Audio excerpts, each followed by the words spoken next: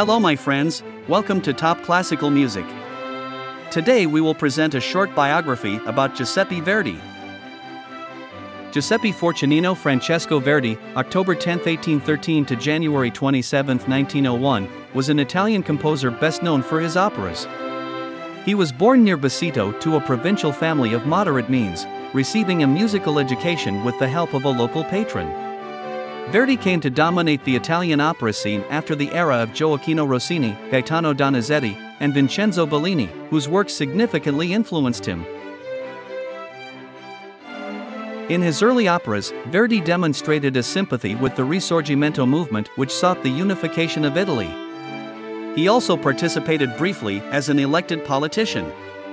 The chorus Va, Pensiero from his early opera Nabucco, and similar choruses in later operas, were much in the spirit of the unification movement, and the composer himself became esteemed as a representative of these ideals.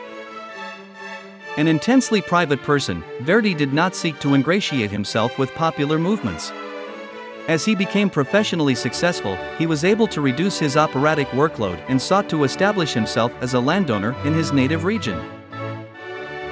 In his last years, Verdi undertook a number of philanthropic ventures, publishing in 1894 a song for the benefit of earthquake victims in Sicily, and from 1895 onwards planning, building, and endowing a rest home for retired musicians in Milan.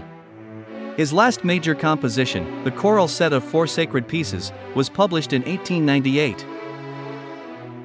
In 1900, he was deeply upset at the assassination of King Umberto and sketched a setting of a poem in his memory but was unable to complete it.